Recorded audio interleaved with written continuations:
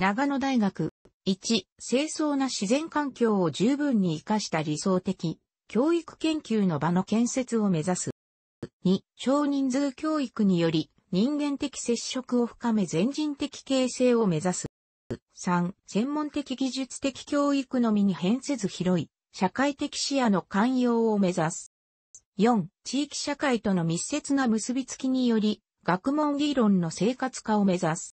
上田市と合併する前の証券郡旧塩田町が全額出資して設立した学校法人本州大学により、1966年、昭和41年4月、本州大学として開学、翌年に本州女子短期大学を併設した。日本の公設民営大学の先駆的大学である。設立当初は認知度が低く志願者が低迷し、当時他に類例のない設立経緯や、小規模な地方自治体が提供した資産と、地元住民らの寄付が、元手という脆弱な経営基盤から、財政状態が振るわず、1972年、本州大学は募集停止。本州女子短期大学を経営分離し、法人名を長野学園、大学名を長野大学とし、学部学科も改編して再出発した。以後は志願者の全増により経営は安定。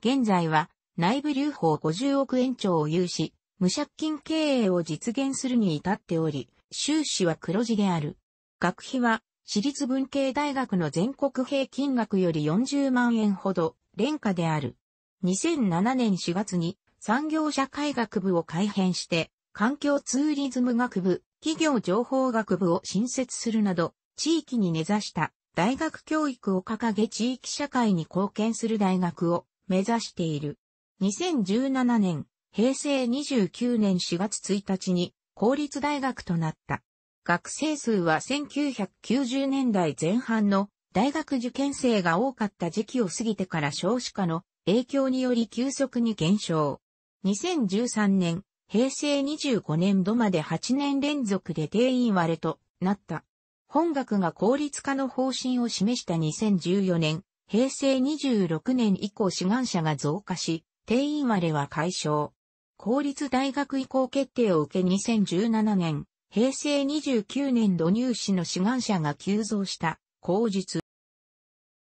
上田市郊外の塩田平に位置する県営工業団地上田リサーチパークの一角に所在している。塩田平は新州の学会と称される自然豊かな歴史文化遺産の宝庫であり、鎌倉時代には北条氏の庇護のもと多くの学僧を育んだ。大正時代には大正自由教育運動の展開により、働く民衆の自由な意志による大学創造を掲げる自由大学運動が長野県を中心に広がり、先駆的機関であった上田自由大学が地域住民により別所温泉に設置された。上田自由大学は昭和時代初期に自然消滅し、自由大学運動も途絶えるが、地域住民の教育熱は戦後まで維持され、農業主体で小規模な旧塩田町が4年生大学、設立を政策に掲げ、本州大学を開学するに至った。長野大学が地域密着型の教育を掲げる背景には、上田自由大学を生んだ地域の特性と伝統が意識されている。現在はコンピュータ最先端技術の集積機関である上田リサーチパークや上田市マルチディア情報センターと隣接する立地を活かした教育と研究が進められている。個性ある大学づくりを目指す改革として、大学の教員等の任期制に関する法律に基づき、2004年度から全教員と雇用契約を結び5年任期で再任は原則として同一職位において1回限りとする任期を取っている。任期制度を教員と研究員の一部に取る大学や研究機関は多いが、学長以下全教員に取る大学は国内初である。教育の質の確保、向上のための教育研究活動の活性化と発展を図り、本学における自己革新の実現に資するために2002年から導入を検討して2004年2月に理事会で制度導入と初期定制定を承認している。任期制により、教員の資質や流動性を高めて、教育研究を活性化し、少子化進行中でも優れた学生を輩出することを目指している。学長と学部長らで構成する評価委員会が業績を評価して基準を足す教員を再任する。2004年4月1日以降の新規採用教員には採用初年から制度を適用し、従前より在籍する教員は3年の猶予期間を経て2007年4月から適用している。業績評価の基準は、講義やゼミナールにおける教育実績など教育に関する事項、論文、著書など研究実績に関する事項、大学の管理運営への寄与など公務に関する事項、地域活動や社会教育、障害教育活動など、社会的貢献に関する事項の4分野、その他外活動など特に評価に値する事項も対象としており、従来の業績評価では軽視されがちな教育実績を重視して学生に良質の教育を提供する教員を高評価としている。学生による授業評価は、評価委員会検討資料として反映される。再任は、実習助教は、同一職位の再任用は1回で2期かつ10年以内、助教、専任講師、准教授、教授は、同一職位の再任は1回で2期目任期は3年、と、それぞれするが、任期満了時の審査で優秀と認められた場合は、業績評価に連動した継続的在任資格を付与する手、ニア制度により5年ごとに評価した上で、同資格により65歳の定年まで在任できる。導入検討時に、任期制は身分が不安定で、教育の場に馴染まないと懸念する意見が、教職員から参見されるも、井出義則学長は、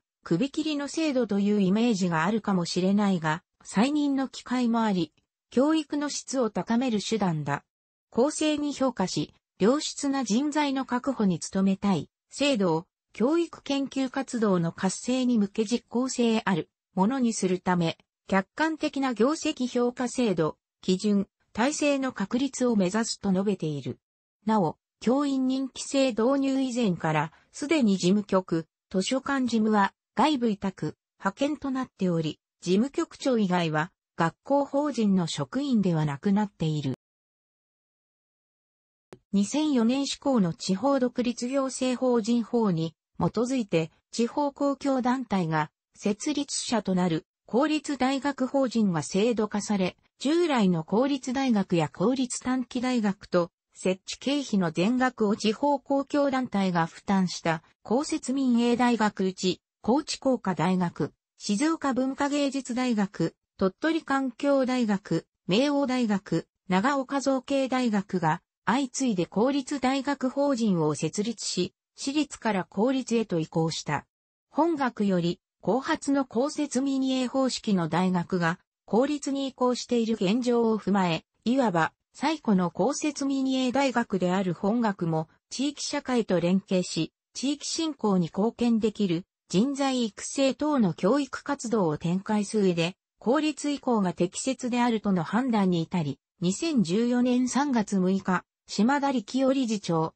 野原光学長、事務局長ら6人が、上田市役所を訪れ、本学を運営する、学校法人長野学園を、上田市が設置者となる公立大法人とすることを求める要望書を提出した。法人理事でもある流総一市長は、早速検討に入りたいと答え、県役にと確認作業をしながら考えたい。行政だけでは決められないことなので、住民と相談しながら検討したいと前向きな姿勢を示した。市は、同年、白井博房、作大学新州短期大学部学長、新州大学名誉教授を委員長とする長野対効率化に関する検討委員会を設置した。2011年4月の野原光学長就任以来、効率化の検討に入り、2013年12月の理事会で公立大学法人化を目指すことを正式決定、要望書の提出に至った。公立大学法人になった場合、総務省から運営交付金が受けられるほか、設置主体の地方自治体に地方交付税交付金が配分されるが、その額は現在本学に交付されている年間約1億6000万円の私学助成金よりも高額になる見通しである。黒字経営を維持しているとはいえ、少子化と学生定員割れが続いており、このままでは今後の状況は厳しいと大学側は判断、この増額分で学費を引き下げ、学生、父母保証人の負担を軽減。18歳人口が減少する中でも、学生数を確保することを見込んでいる。その後の記者会見で、島田理事長と野原学長は、上田自由大学運動の歴史を踏まえ、改めて地域の学問書として根を張っていこうと決意した要望書内に移行時期の目標を明確には示さなかった。開学50周年を迎える2016年度に実現できればありがたい。市に財政負担をお願いすることはない。県が予定する県立大、長野県短期大学の4年生大学科や県内の私立大との関係について互いに手を携え、県内高校卒業者の県内大学進学率を上げられるよう努力したい。公立大学になれば地域と一体となった高等教育を進め、活性化にも大きなメリットが生まれる等と述べた。同年4月には在学生向けの説明会を開催した。これまで公立化した公設民営大学はいずれも開学後10年前後というまだ新しい大学であり、静岡文化芸術大学を除く、各大学は開学後経営状態が安定せず、財務状況等の悪化が原因となって、公立移行が検討され、経営基盤の安定と大学の存続を図ったものであった。本学のように50年に及ぶ歴史があり、自力で黒字経営を維持している大学が、今後の少子化の進行によりいずれは経営難に直面する可能性があるという見通しのもとに、公立移行を計画した例は痛め、県や市による財政見通しに関する調査と分析が行われた。長野県内では、私立高等学校が公立高等学校に移行した例、1985年4月、天竜光弘高等学校、設置者は学校法人、清江会が、組合立野県松川高等学校、設置者は一部事務組合松川高等学校組合、に移行。1987年4月より、県立はあるが、私立大学が公立大学法人に移行した例はなく、長野大学が初となる。また2014年4月には、本学同様公設民営方式、公私協力方式によって設立された諏訪東京理科大学も公立大学法人化する方針を示し、2015年9月、茅野市に対して公立大学法人化を求める要望書を提出、県にも協力を求めるなど、長野県内において自治体を巻き込んだ形での大学改革の動きが活発化した。公立化については受験生、保護者の反応も早く、長野大学では公立化の方針を示した後の2014年度以降、志願者が増え、定員割れの状態は解消した。長野県の大学収容力、その都道府県の18歳人口に占める、県内大学への入学者の割合は長年全国最低であり、2016年度には16.5%であった。県にとっては若年層の県外流出を防止するため、県内高校卒業者の県内大学進学率を上げ、地域の高等教育機関の維持と活性化を図ることが喫緊の課題となっている。検討委員会は、市長が中立の立場で意見を聞きたいとして、研究者、市民代表ら13人で発足、14年11月から15年5月まで8回の会合を持った。委員長を務めた白井博士方針集大名誉教授は、できれば来年度入試に間に合うようにしたいと述べた。市長は5月に実施したパブリックコメントの結果なども踏まえて最終判断することになった。2017年4月1日、公立大学法人長野大学設立記念式典、長野大学開学式を挙行し、公立大学に移行した。これまで本学は志願者、合格者、在学生についていずれも8割前後を長野県内出身者が占めきたが、2017年度からの公立化決定を受け人気が高まり、県外からの志願者が急増した。大学入試センター試験による選抜方式は、以前から存在していたものの、2017年度一般選抜試験については、他の国公立大学と横並びの選抜方法は採用せず、これまで通り私立大学の中でも、より教科数を縮減した独自の入学試験方式を存続させた。また全くの新設校や短期大学の改祖ではなく、4年生大学として、すでに見学後50年を経ており、大学の指導方針や教育内容もすでに明らかであったことから、全国受験生とその保護者らからの注目を集めた。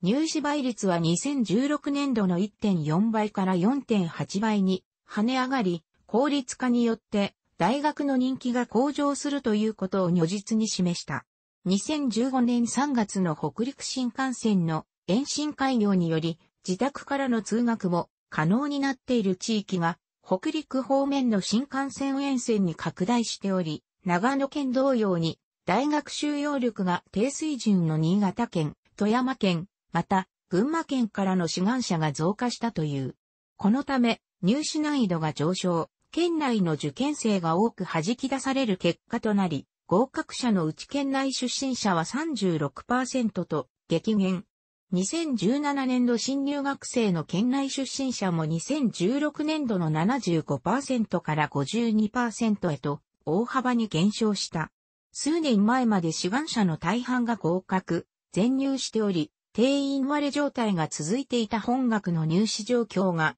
一変したことは、内高等学校の進路指導担当教員らを困惑させ、前年並みの難易度ならば合格したはずの生徒が不合格になった長野大学を諦め、難易度の低い県外の大学に進学した生徒が出た、と、本学の効率化により、県内高校出身者がさらに県外に流出してしまう状況が発生したとの声も出ている。公立移行初年度の入試は、県内高校出身者の県内大学進学率を上げるという効率化の目的に全くする結果となったため、2018年度より募集人員を増員し、各学部とも一定程度を地元枠に当てた。栄応入試については、スポーツ特別枠及び福祉学科等在籍特別枠、社会福祉学部のみ、推薦入試については、長野県内高校在籍者優先枠及び、上田地域定住自立県域優先枠、高校在籍者及び居住者を設け、長野県内、特に上田市及びその近隣自治体在住、在校の生徒優先して受け入れる選抜方法を導入した。なお2018年度より一般選抜試験については、大学入試センター試験の他教科の受験を要すると、他の国公立大学と類似した選抜方法に変更されたが、同一教科の2科目でも有効とする取り扱いを導入するなどして5教科の受験は課さず、入試全体として私立大学型の選抜方法を維持している。公立化前の栄応入試競争率は2倍に満たず、推薦入試はほぼ全員合格であったが、2017年度以降一転して、栄応入試、推薦入試とも難形。2018年度入試においては、特別枠や地元枠を設けたものの競争率はさらに上がり、栄応入試は3から4倍、推薦入試は2倍以上で推移している。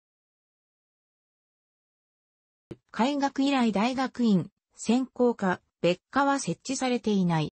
経営、情報、デザインの3つの分野を柱に実社会のビジネスシーンで活躍できる、就職に強い学生を育てることに力を入れている。シラバスによると、経営や情報の科目に加えて、デジタル映像表現、コンピュータグラフィックス、マルチメディア論といった映像表現力とともに、コマーシャルデザイン、メディアプランニング論等の企画力を育成する科目があることが特徴である。こういったことからイベント企画や CM 制作、マスメディアといった広報戦略、活動ついても学べる長野県内では C 学部である。経営分野では自分たちで商品やサービスを企画、デザインし、どうすればお客様に喜んでもらえるのかというお客様の視点から経営を学ぶことが特徴である。単に企業運営だけでなく、広報戦略の立場からの学びがあることが特徴である。そして、学生自身が考えた経営戦略を実際の企業に提案して実用化を目指す実践的な経営を学ぶことも特徴である。情報分野では特に新しいサービスや製品の開発に必要な技術、コンピュータグラフィックス、画像処理、ゲームデザインといったデザイン工学を基礎とするソフトウェア開発に力を入れていくことが特徴の一つとなっており、学生は様々な公的機関や団体から表彰を受けている。また、Linux 等のオープンソース、ネットワークサーバー、スマートフォン等のソフトウェア開発にも強い。こういったことから自分たちで開発したソフトウェアを使ってベンチャー企業を起こそうとしている学生がいることも特徴である。また、学生はゼミなどの授業で本格的なゲーム開発を行っている。デザイン分野ではビジネス分野を想定した広報力、企画力、自己表現力を学ぶことが特徴である。このため一般的なデザイン、イラストや子供たちの遊具、アクセサリー制作などに加え、経営分野の学びと融合させて、学生の段階から本格的な広報デザイン、DTP によるパンフレット、雑誌、ポスター等の制作を学んでいることが特徴である。デザイン系の学生も様々な機関や団体から表彰を受けている。環境とツーリズム、観光をテーマとした学部であり、自然と文化を守り、観光を振興し、地域社会の安定した発展を実現できる人を育成することを狙いとしている。シラバスを見ると、観光事業論、観光計画論などの観光に関わる科目や、地域環境学、自然再生論などの自然環境に関わる科目だけでなく、地域の産業と政策、地産地消論などの地域の街づくりに関わる科目も多く、学際的な学びを目指した学部であることがわかる。また、2008年度に文部科学省質の高い大学教育プログラム教育 GP に選定された森の生態系サービスの活用を学ぶ環境教育という全学的な環境教育プログラムはこの学部が中心となって展開されている。企業情報学部では学生が主体的に学術研究を行っていることが特徴的である。特に学生のコンピュータグラフィックスや画像処理に関するソフトウェア開発技術は学外からも評価が高く、様々な機関や学術組織から表彰されている。独立行政法人日本学生支援機構、文部科学省所管が行っている優秀学生検証事業、学術分野において、企業情報学部では2008年度から2015年度まで8年連続で複数の学生が大賞、優秀賞、奨励賞を受賞している。教職課程を設置している。2018年度から本学にて取得可能な教員免許状は下記の通りになる予定。キャンパス全体が斜面にあるため、施設が階段状になっている。2007年9月、4号館3階に CG、デザインラボと呼ばれる CG 設備に特化した演習室が新設された。さらに2013年9月、この演習室を含めた学内情報システムの全面的な入れ替えが行われた。この演習室では23インチディスプレイを装備したコンピュータ環境を駆使し、最新の Adobe CS6 等企業レベルの最新デザインソフトウェアを用いた演習が可能である。長野県内大学では初めて学生の演習環境に全面的な仮想化技術を導入し、演習室だけでなく、キャンパス内すべての場所で上記のソフトウェア環境が使用できるようになった。これにより、一般の授業やゼミなどの別の教室にいながらにして、最新のソフトウェアを使用した演習が可能となっている。これらの使用から3次元コンピュータグラフィックス、動画編集、グラフィックスデザインに特化した演習環境がすべての学生に提供されている。またフルカラーで B0 版の用紙に印刷できる大型プリンタも備えており、巨大なポスターなどが制作できる。このような規模の制作環境を有する大学、専門学校は全国的にもごく限られる。長野大学生活協同組合があり、購買書籍店、ラウンジ、喫茶リンゴの営業、その他サービス、共済事業を行っている。2005年度導入の単位互換制度により、単位互換の対応を行う大学。楽しくご覧になりましたら、購読と良いです。クリックしてください。